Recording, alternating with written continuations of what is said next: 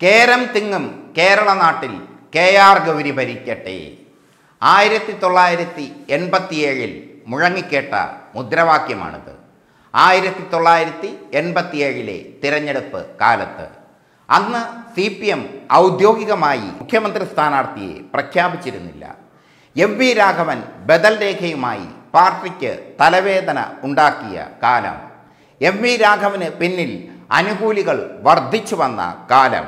ഈ കാലഘട്ടത്തിൽ M V Raghavan ബദലായി ഒരു കരുത്തുറ്റ സ്ഥാനാർത്ഥി വേണമായിരുന്നു. അതുകൊണ്ട് അനൗദ്യോഗികമായി കെ ആർ ഗൗരിയമ്മയെ മുഖ്യമന്ത്രിയായി പ്രതിഷ്ഠിച്ചുകൊണ്ട് സി പി എം പ്രചരണം നടത്തി.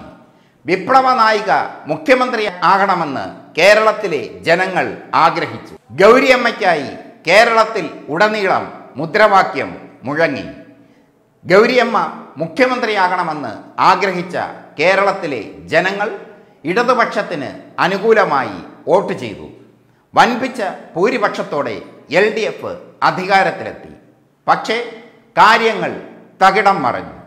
ഇ കെ നയനാർ മുഖ്യമന്ത്രിയായി. ഗൗരിയമ്മയ്ക്ക് മുഖ്യമന്ത്രി സ്ഥാനം ലഭിച്ചില്ല.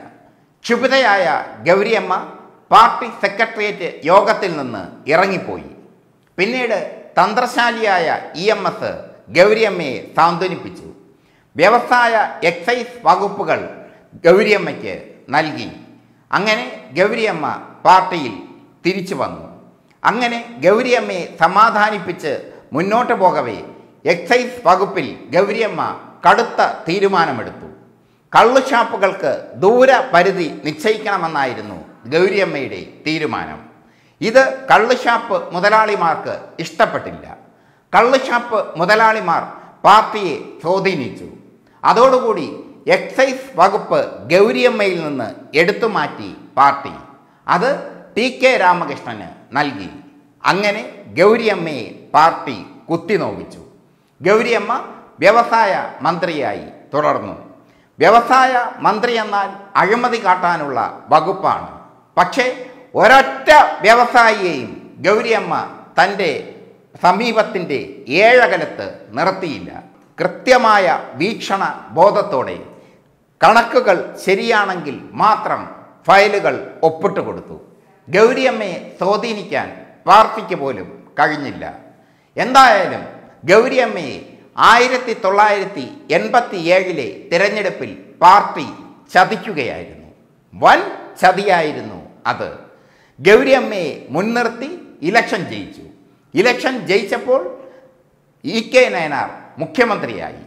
പാർട്ടിയിൽ എന്നും സവർണ വിഭാഗത്തിന് മേൽക്കോയ്മയുണ്ടെന്ന് തെളിയിച്ച സംഭവമായിരുന്നു അത്.